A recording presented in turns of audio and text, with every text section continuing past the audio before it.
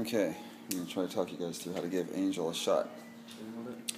These details are important, um, so even if you think you know how to do it, just go and listen to the whole video because there's a lot of little tips and tricks I kind of figured along the way. Then when you see the visual aid, help a lot. So this will be his skin, and when I pinch his skin, I don't pinch a lot like that. I pinch just a little bit, like where the tips of my fingers if possible. And when you pull it up, what you want to get is something that sort of is like this fabric's not cooperating as well as a dish towel. Hmm, something sort of like this. See how it kind of goes concave here, indents a little bit. If you pull up too tightly, what ends up happening, if you, if you pull up too far, regardless of where you pinch, what ends up happening is this. It gets really narrow. And so when you try to put the needle in, you just end up tracking the needle along one of the walls of flesh instead of going inside where you want to go. You end up kind of going along here, and that really hurts him. So what you want to do when you pinch up, pinch up just a little bit, like I said, with your fingers. Don't pull up too far. And then sometimes I'll actually use these two fingers instead, and my index finger to help create that little pocket. Sometimes when you do this, you don't really get a pocket. It's kind of more at an angle like this. And sometimes with your fingers, you know, you can. The skin rolls better than this fabric does, but sometimes you can twist your fingers and you know do things to end up. Basically, that's what you want. You you want like this pocket here. So pull up just a little bit.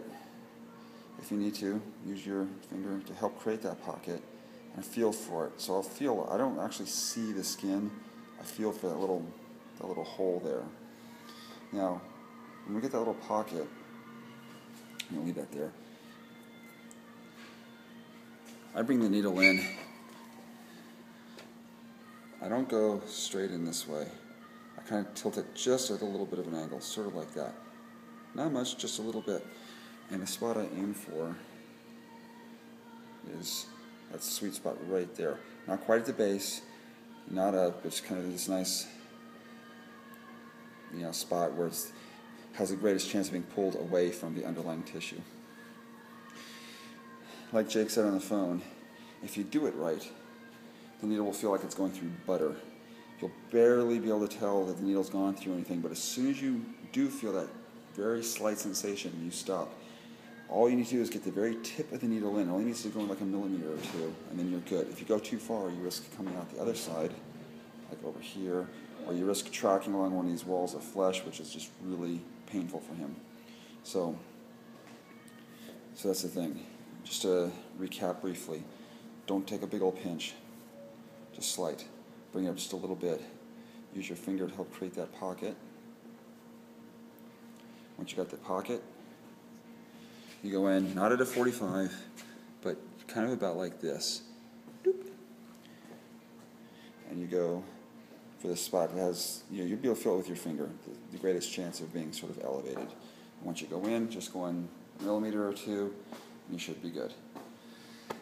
Uh, I think, I think that's it. Um, oh, change the needle before you do the shot.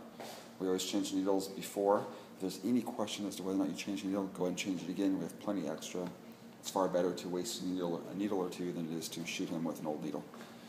Um, if you have any questions, give us a buzz. But I think that uh, is most of it. Ciao. Love you guys. Good luck.